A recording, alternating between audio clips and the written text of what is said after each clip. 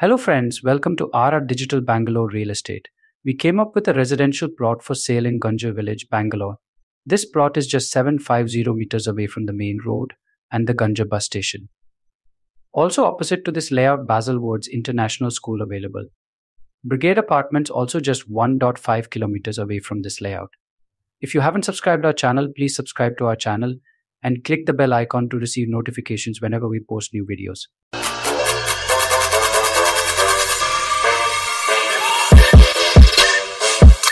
Total area of the plot is 1200 square feet and it is west facing plot. This plot is suitable for constructing residential building. It falls within the BBMP limit and an e-Katha property. If you're interested in advertising your properties for rent or sale, please contact us using the number provided in the video description section.